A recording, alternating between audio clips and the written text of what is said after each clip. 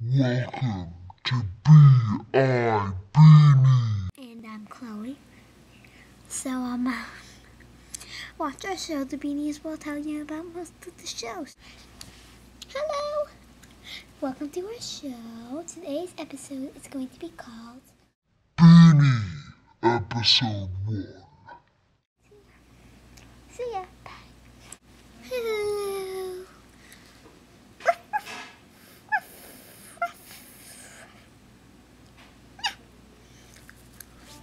Being a beanie, we are going to talk about what it's like to being a person's pet.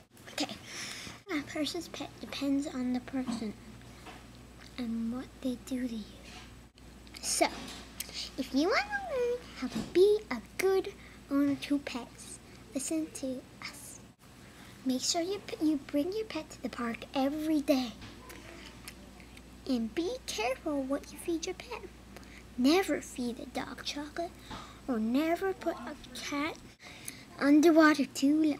We are very good animals and cats are not good at swimming.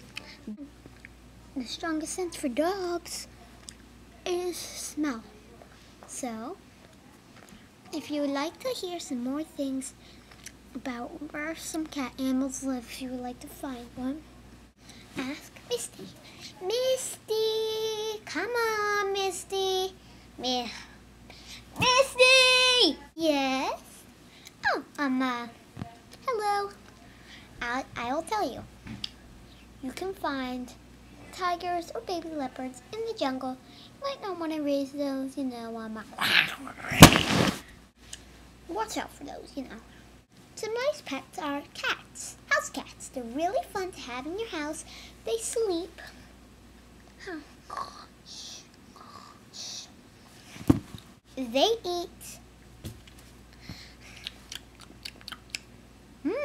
Good food. And they go to the bathroom. Sorry. And I'm Lily. I'm Misty. I'm Rascal. And we're here to say goodbye. Goodbye.